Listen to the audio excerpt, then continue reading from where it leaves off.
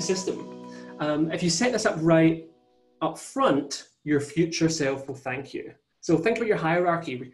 We, now configure that in the back end, uh, get Jira to have that set up so that it, in the same way that stories roll up to epics, epics will in turn roll up to initiatives or features or themes or whatever you want to call that next level.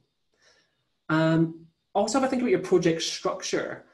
Where are those new initiatives going to live? Is there an initiatives project that they'll live in? Um, will each of the teams have their own Jira project for their epics and their stories? There's a myriad of ways you can configure it in Jira, um, all with pros and cons, but just make sure you think about it front, up front.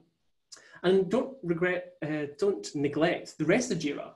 There's a whole host of views and features where you can give you additional insights. Dashboards, uh, an initiatives Kanban, maybe a program Kanban with just epics. Um, so there's all sorts of other views in there that you need to use in addition to advanced roadmaps to give you that holistic view of how you're getting on.